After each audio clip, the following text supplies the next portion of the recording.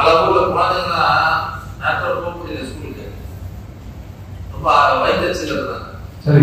உங்க வர எங்க வர நீ வேலையை பார்க்கறது ஒரு பென்ஷன் வந்து வந்து ஒரு பென்ஷனுக்கு நீ போய் பார்த்து வந்து பாஞ்சு நாள் ஆச்சு நீ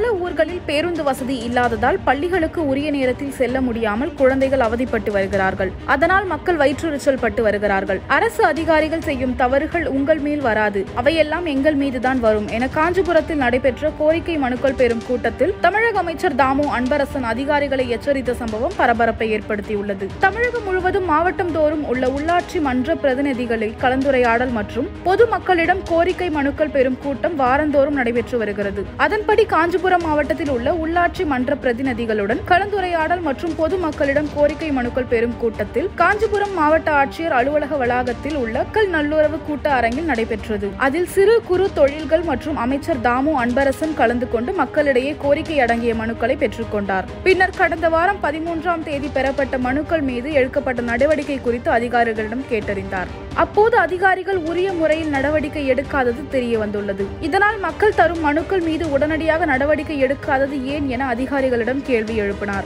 மேலும் அதிகாரிகள் வேலை செய்வதே இல்லை ஜாக்கிரதையாக இருந்து கொள்ளுங்கள் என எச்சரிக்கை விடுத்தார். பல ஊர்களில் பேருந்து வசதி இல்லாததால் பள்ளிகளுக்கு உரிய நேரத்தில் செல்ல முடியாமல் குழந்தைகள் அவதிப்பட்டு வருகிறார்கள். அதனால் மக்கள் வயிற்றெரிச்சல் பட்டு வருகின்றார்கள். அரசு அதிகாரிகள் செய்யும் செயல் உங்கள் மீது வராது. அவையெல்லாம் ஆட்சியாளர்களான எங்கள் மீதுதான் வரும் என்று தெரிவித்துள்ளார். பொதுமக்கள் வழங்கிடும் மனுக்களை ஏதோ கடமைக்கு கொடுக்கிறார்கள் என்று நினைக்காமல் இந்த மனுக்களின் நிதி இல்லை என்றாலும் எங்களுக்கு அனுப்பிவிடுங்கள். நாங்கள் பார்த்துக் கொள்கிறோம். மாவட்ட ஆட்சியர் அமைச்சர் நாங்கள் பதில் சொல்கிறோம். கீழே இருக்கின்ற சிறு சிறு பிரச்சனைகள் எல்லாம் அதிகாரிகளால் செய்யக்கூடிய வேலைகள் நிறைய இருக்கிறது.